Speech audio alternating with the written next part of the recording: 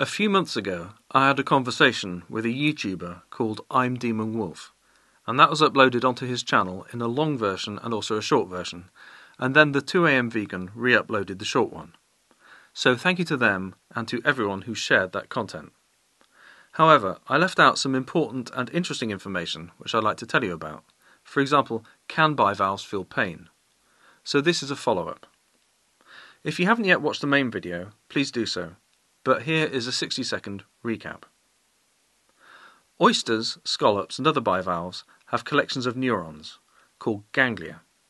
For example, one ganglion operates their gut, and human beings have one of those as well. But one of the bivalve ganglia is completely different from the others, and that's the cerebral ganglion. And cerebral means brain, and that acts as their control center and their center of awareness. The strict dictionary definition of the word brain doesn't actually apply because the cerebral ganglion isn't contained within a skull, but it nevertheless operates as a brain. It's the brain ganglion. So it's about going beyond the dictionary aspect and not getting misled by narrow definitions or labels or semantics, and simply looking at the actual practical physical function. The same thing applies with lobsters.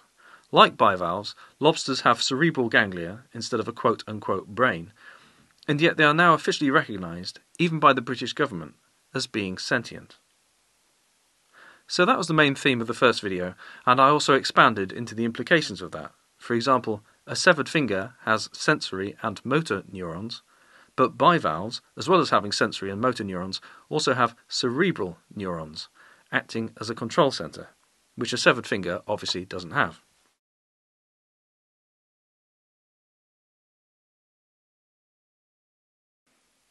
Now, following on from that, there's an important piece of research which I didn't discover until after the first video came out. And that research, which was looking at scallops, found that their decision to swim away and try to escape from danger can be traced back through the electrical signals to their cerebral ganglion. All these references are in the video description, by the way. That research has found that, quote, the high level control of escape behavior resides in the cerebral ganglion. If you or I were trying to get away from danger, then our escape behavior would also be controlled by cerebral neurons. But in our case, the collection of cerebral neurons gets labeled as a brain inside a skull, whereas with bivalves it's called a cerebral ganglion. But functionally, it all works out exactly the same.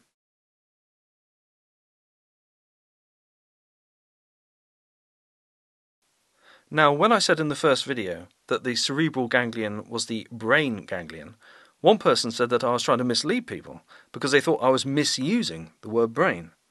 But when you look at the research into invertebrates, whether that's bivalves or snails or grasshoppers, you name it, the term cerebral ganglion is in fact used interchangeably with the word brain because they function as brains. In other words, gathering information from the other parts of the body, including sensory input, and acting as a central processing unit and making decisions, and all the rest of it. So, for example, here's a study from 2001. Quote, the central nervous system in lumbriculus consists of a cerebral ganglion, bracket, or brain, close bracket, with brain in inverted commas.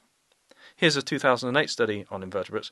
Quote, the olfactory information is processed in the brain, bracket, the cerebral ganglion, bracket. They're synonyms. The cerebral ganglion is the brain ganglion. Here's another one. Quote, the nervous system of the bee, they're talking about honeybees, includes a cerebral ganglion, bracket, brain, close bracket. Here's another one. Quote, the cerebral ganglion, bracket, brain, bracket, and it says that three times. And here's a pretty recent one which is specifically discussing bivalves. Quote, bivalves have a cerebral ganglion, bracket, brain, bracket, that gives rise to blah blah blah.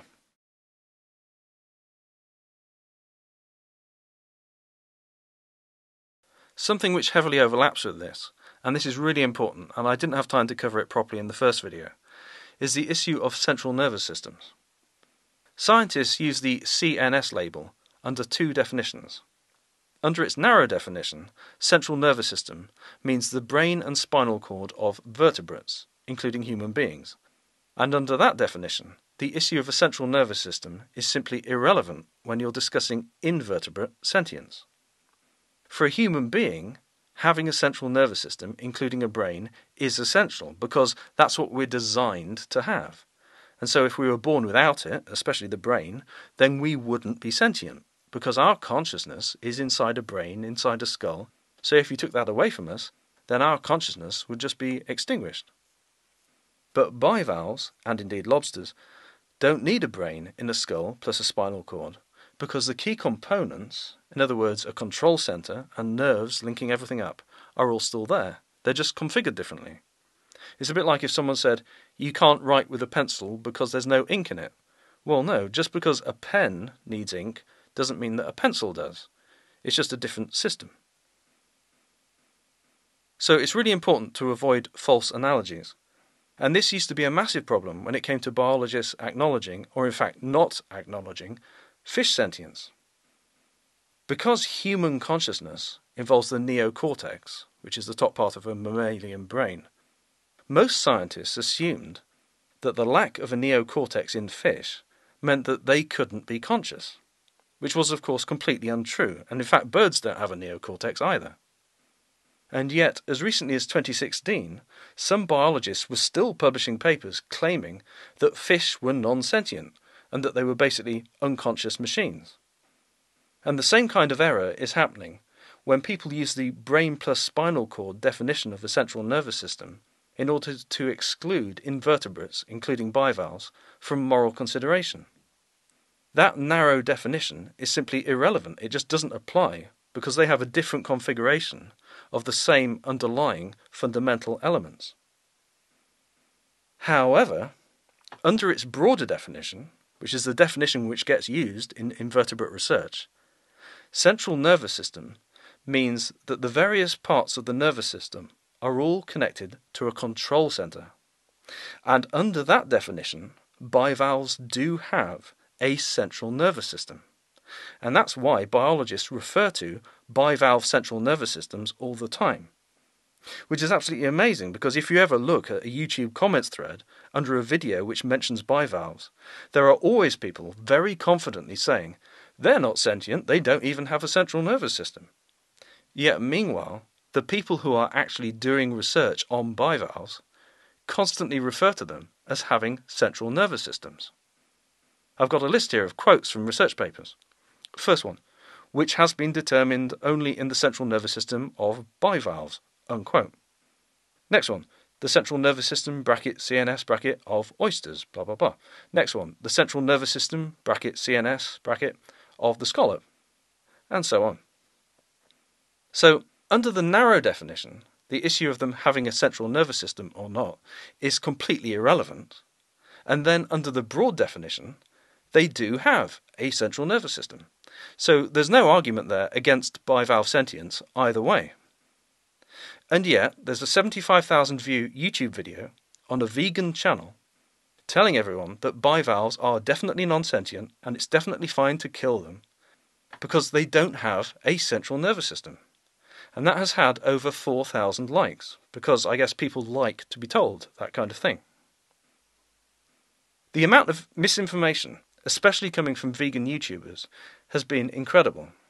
And that's why I'd be really grateful if you would please consider sharing this video, because this is an attempt to counteract all the false claims which are out there.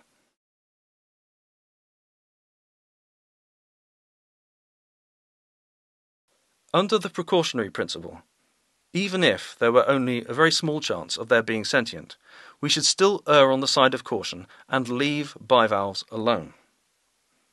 And some people have said, well, that would mean that we'd have to take the same cautious approach when it comes to plants. Well, not really. Plants have intelligence, and I would say awareness of some kind. But what about conscious awareness? We know for a fact that cerebral neurons sustain consciousness because that's what sustains our own consciousness. But plants don't have neurons, let alone cerebral neurons, or any other components which have been shown to sustain conscious awareness. Whereas bivalves, thousands of cerebral neurons.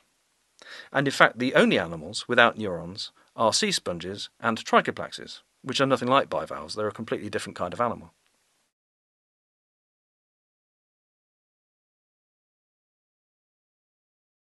Another point, very briefly, is that some people say that some bivalves might be non sentient because those particular bivalves are sessile, meaning non moving. Well, first of all, they're all motile in the earlier stages of their life. Motile means that they move around. And even the supposedly sessile ones, like mussels and oysters, are in fact motile to some extent, even in later life. So there isn't a clear division.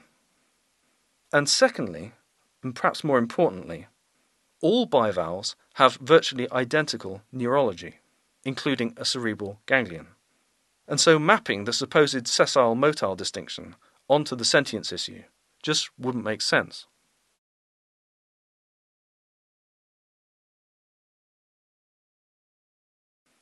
And finally, do bivalves feel pain?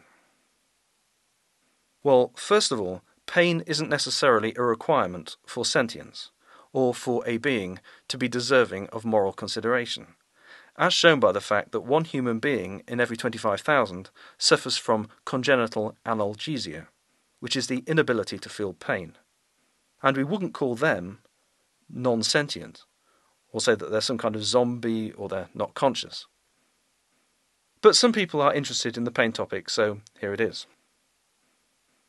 When they're talking about non human animals, biologists generally resist using the word pain, because that might mean that they're getting a bit too close to the world of animal rights, perish the thought. So they generally use the word nociception, which means the physiological perception of noxious stimuli.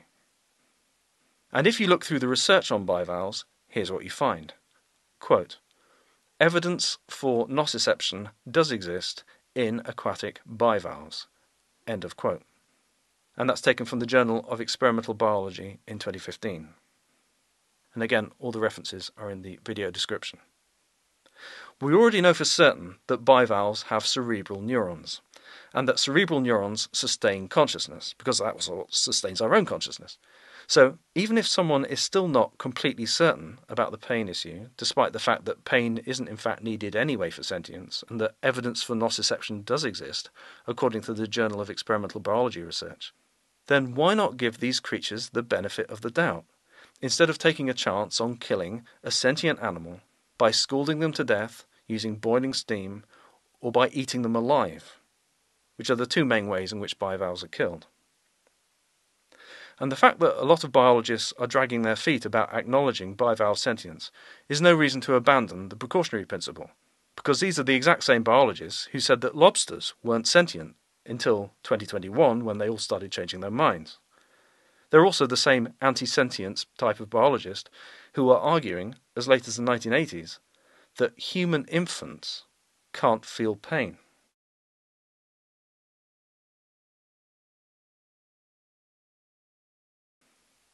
It's worth asking why so many vegan YouTubers are claiming with endless and groundless confidence that bivalves are non sentient. I think the reason for this is that people associate animal rights with someone throwing paint and looking irrational, and so they want to distance themselves from that by saying, I'm not one of those irrational vegans, and so if you want to kill certain types of animal, then that's fine by me. Meanwhile, the actual anatomical evidence goes out the window. And so you end up with vegan YouTubers being far more anti vegan on this issue than even biologists, who are themselves pretty useless at acknowledging sentience, as shown by their track records in relation to fish and lobsters and human infants. One vegan video about bivalves with six figure views says it's fine to kill them, it doesn't cite any scientific papers, and its main source is an opinion piece written by a gender psychologist who falsely claimed that bivalves don't have any type of central processing unit, which is completely untrue. And anyone could have found that out in five minutes if they just taken a step back and questioned it and looked up some research. And yet the comments thread is full of people praising this vegan YouTuber for being so reasonable. Meanwhile, bivalves are being killed in their millions in horrendous ways, and supermarkets, including Tesco in the UK, are selling live bivalves in airtight, shrink wrapped packages, within which these harmless and helpless little animals take between two and three days to suffocate to death. These are moral crimes, and for animal rights advocates to be validating this kind of thing is truly shameful. We should all be speaking up for these forgotten victims of the meat trade. So please share this video and the part 1 video with as many people as you can and let's try to get the truth out there. And thank you for listening.